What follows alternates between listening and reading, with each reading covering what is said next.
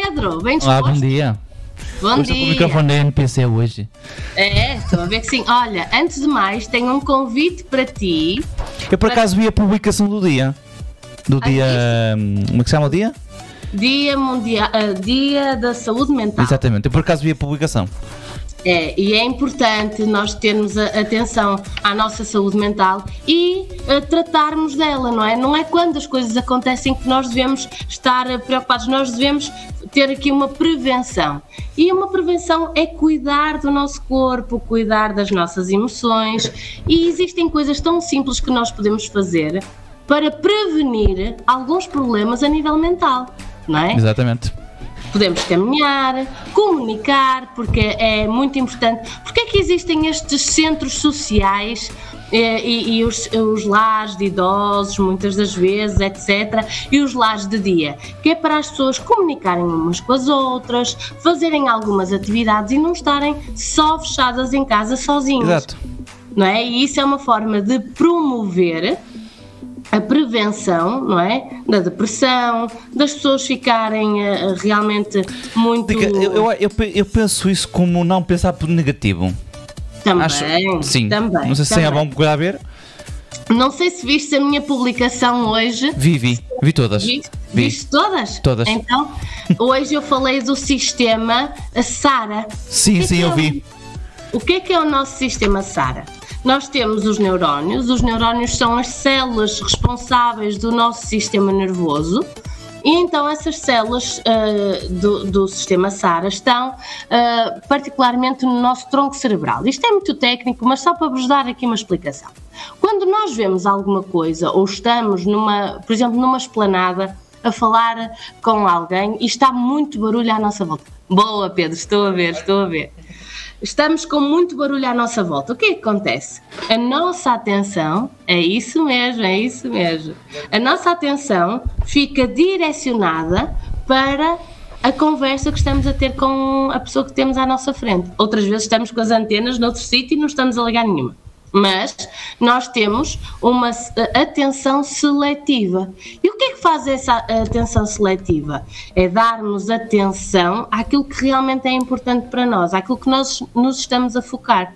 E o nosso sistema SARA é isso que faz, é a atenção seletiva. Ou seja, nós absorvemos tudo o que está à nossa volta, mas só damos atenção àquilo que realmente nós Nos interessa. Por isso, é que, por exemplo, imagina que tu queres Mas chama-se comprar um- mesmo Sara mesmo? Chama-se Sara, exatamente. Engraçado, por Porque acaso. cada letra, cada letra significa uma, uma, uma coisa. Aquilo é uma sigla. Ah, ok, ok. sigla. Mas está abreviado, neste caso. Exatamente. E então o que é que acontece? Imagina que tu queres comprar um carro branco, de um Renault branco, de determinado modelo, etc. Tu vais na rua, o que é que vai acontecer? Tu vais começar a ver muitos carros brancos daquele modelo que tu queres comprar. Exato. Porquê? Porque o- o a tua atenção seletiva está direcionada para esse foco. Os outros carros também passam, mas tu vais estar muito mais atento e vais, ah, está ali outro carro, olha, está ali aquele, e vais passar a ver aquilo mais vezes. Não quer dizer que eles não passassem, só que tu agora estás muito mais atento àquilo, Mais concentrado naquilo. mais concentrado naquilo. Por exemplo, uma mulher quando engravida, ela só começa a ver mulheres grávidas à volta dela. Mas é que é mesmo. Por acaso, já- eu por acaso já reparei nisso. Sim, mulheres grávidas, começa a ver roupas de bebê, ah, ah, em todo o lado que ela vá, o que é que vai acontecer? Ela vai ter a atenção dela direcionada para aquele tema. E isso acontece com todos nós. O que é que, o que é que, porquê é que eu vos estou a trazer esta informação? Porque nós podemos selecionar aquilo a que queremos dar atenção. Exato. Porque Sim, quem- a gente pode selecionar, eh, perfeitamente. então, imagina que eu digo assim: ah, hoje o meu dia vai ser altamente produtivo e cheio de, de coisas boas, vai ser um dia bastante positivo. Exato.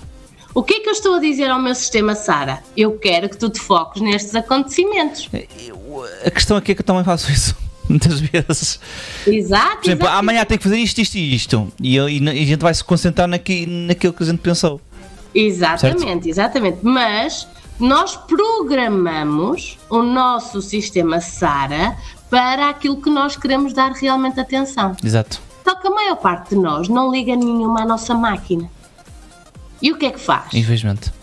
E então o que é que faz? Está constantemente a pensar negativo, eh, está constantemente a pensar, ai, vai-me vai acontecer isto, eu não tenho sorte nenhuma. Então, a nossa atenção vai se dirigir para pontos que demonstrem efetivamente que aquilo que eu estou a dizer é verdade. Exato.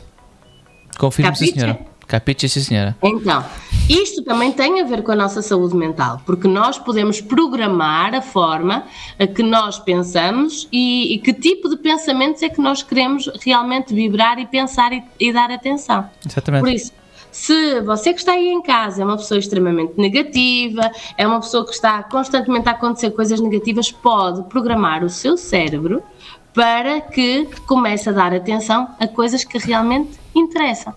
Exato. Não é?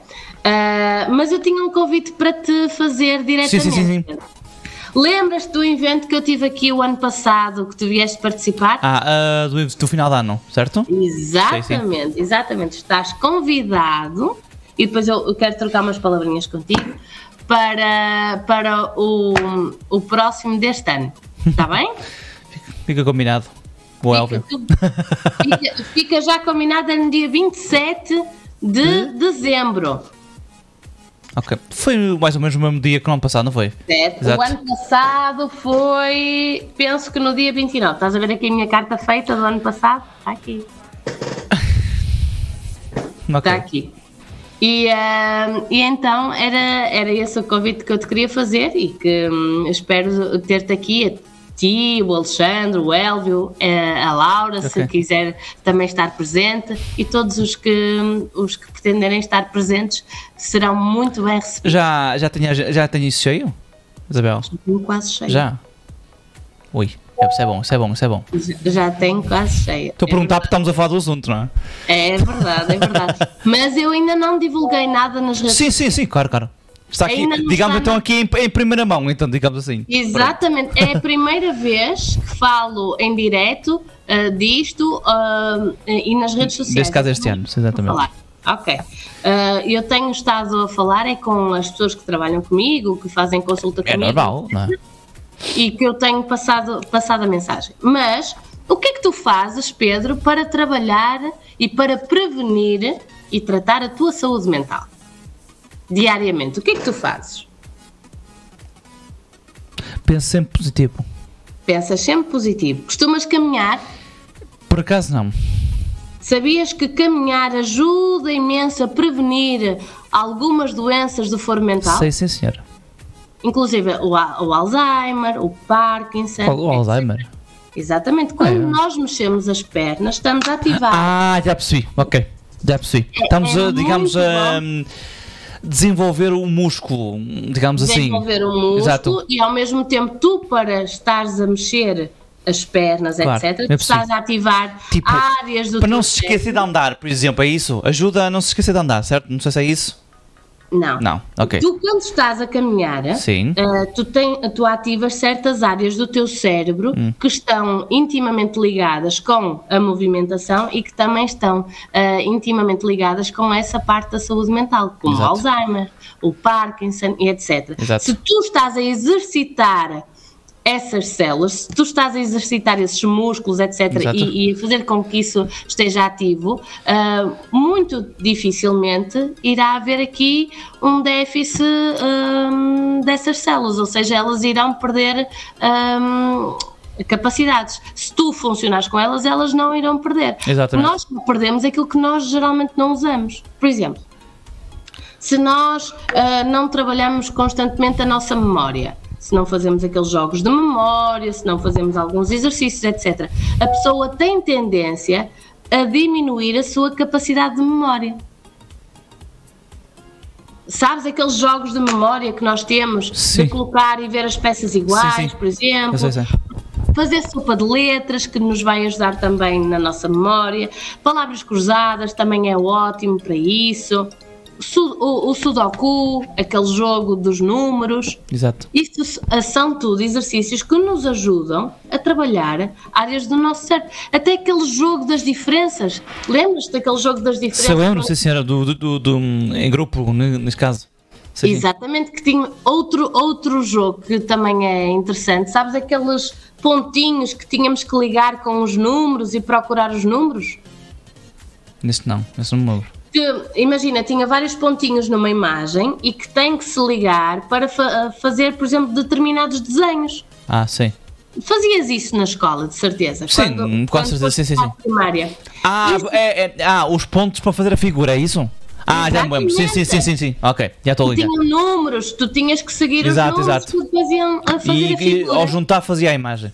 Exatamente, exatamente.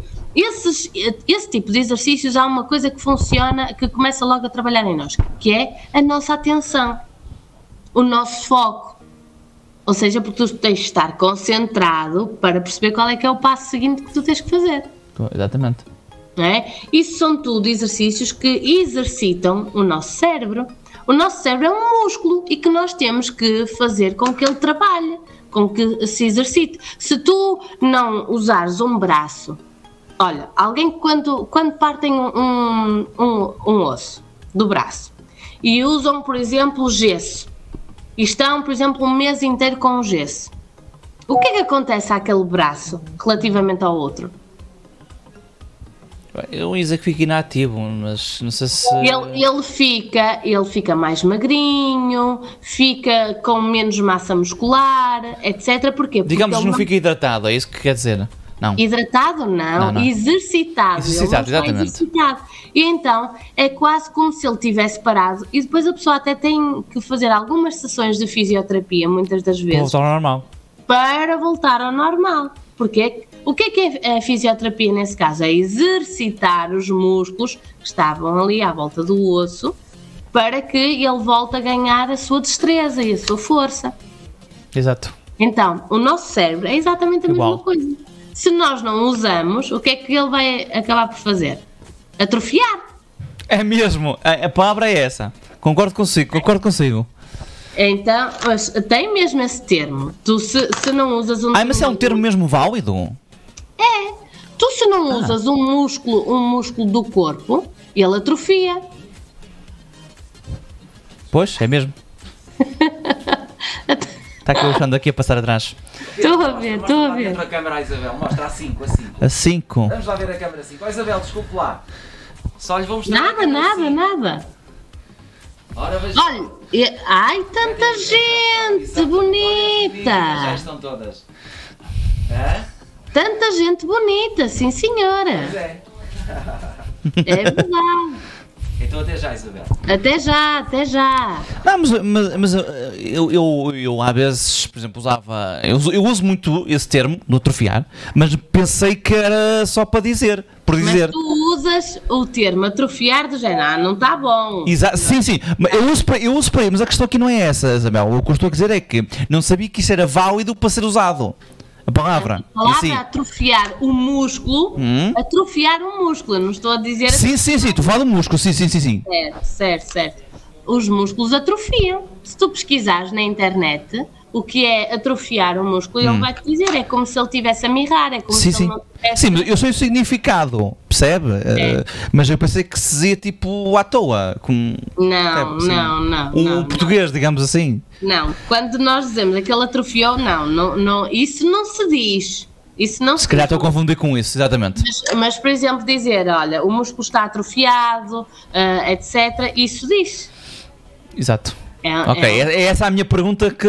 Exato. é um termo. Exato.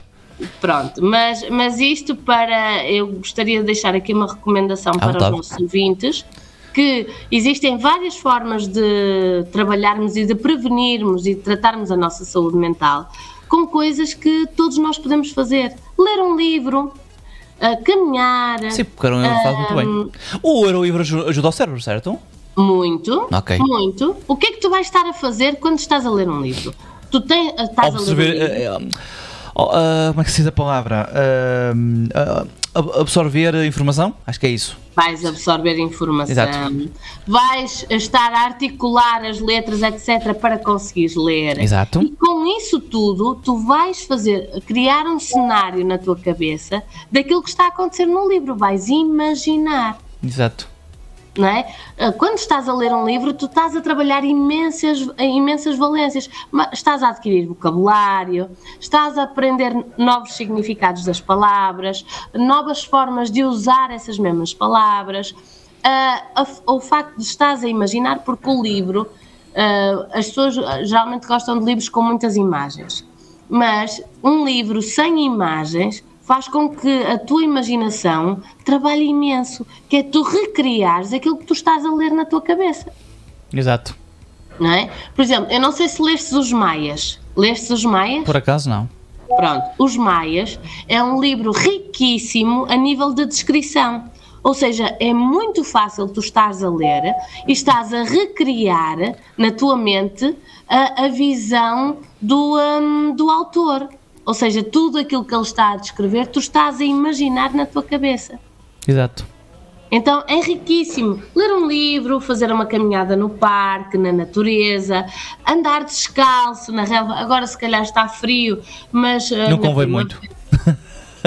Na primavera, no verão, poder caminhar e colocar os pés na terra. Ah, além disso, outras coisas que nós também podemos fazer, conversar, cantar, não é? Isso são tudo hábitos que nós podemos adquirir e que vão ajudar a prevenir a nossa saúde mental e que não nos custam nada, não custam dinheiro nenhum É verdade. não é? E quando ah, eu quero trazer este pensamento aqui, nós temos que normalizar que nós temos muitas emoções e nós podemos sentir mais do que uma emoção ao mesmo tempo.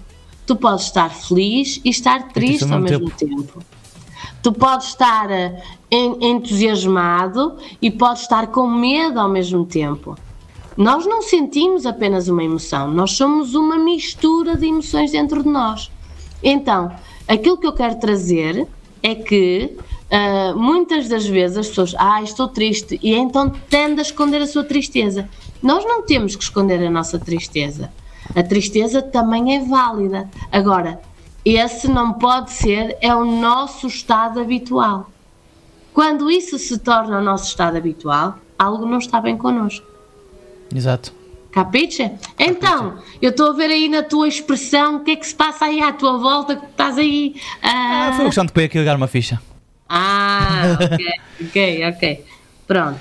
Mas relativamente aos nossos hábitos, já sabem, nós podemos implementar hábitos que ajudem a, a promover a nossa saúde mental. Diz, Pedro. Não, estava aqui a pensar que hum, aqui esta, eh, ficou- acho, acho que vai ser uma conversa que vai me ficar marcado por causa daquela palavra. É? É. Porque eu não sabia que se usava regularmente por causa do músculo. Oh, Sim, sim. Ah, ah, mas vai pesquisar, vai, vai eh, pesquisar um bocadinho sobre É isso. para pesquisar vais ver- mesmo. E tu vais ver que faz sentido. Tu vais ver que faz sentido.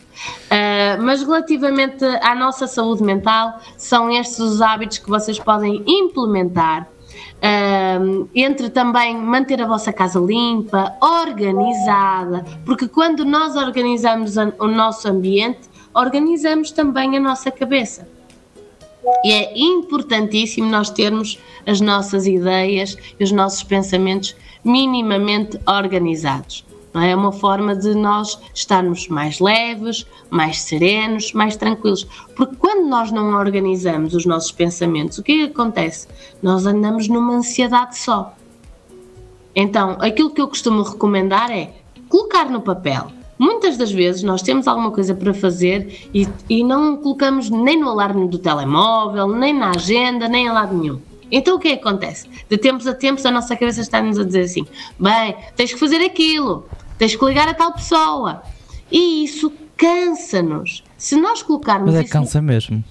se nós colocarmos isso no papel ou colocarmos isso num lembrete do telemóvel, nós já estamos a disponibilizar espaço e energia na nossa cabeça. Já temos liberdade para pensar outras coisas. Capiche? Capiche. Pronto, Pedro, foi um gosto estar a falar contigo. Igualmente. Espero que tenha sido gratificante esta conversa para ti, Foi mesmo. para ti e para Olha, todos que nos estão a ouvir. Para mim também, para mim também. Eu estava ali atento, mas estava ah, a ouvi-la. Eu sei, eu sei, É. Alexandre, obrigada. E espero que os nossos ouvintes agora, se gostaram tanto do tema, que partilhem para que outras pessoas possam ouvir e ver os nossos convidados que vamos ter agora na NPC. Exatamente, Que fiquem com certeza nos vão dar grandes lições de vida. Exatamente. Está tudo, Isabel. Está tudo, Pedro. Beijinhos. Beijinhos, Isabel. Muito obrigado. Foi um gosto e pesquisa. Igualmente. Eu, Tá eu vou pesquisar mesmo.